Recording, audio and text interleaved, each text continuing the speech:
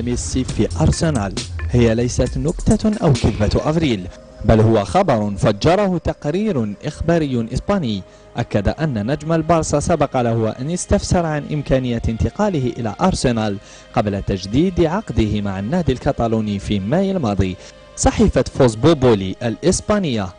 التي كان لها السبق في الكشف عن صفقة انتقال أليكسيس سونشاز إلى أرسنال كشفت أن ميسي كان جديا في الانتقال إلى أرسنال قبل التوصل إلى اتفاق تجديد عقده مع برشلونة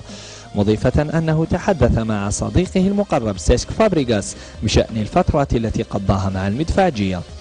تجدر الإشارة إلى أن الفرصة كانت قد أتيحت في الماضي أمام ميسي للانضمام إلى أرسنال قبل دخول أكاديمية برشلونة في طفولته وهو يعد من المعجبين بطريقة عمل المدرب الفرنسي أرسين فانجر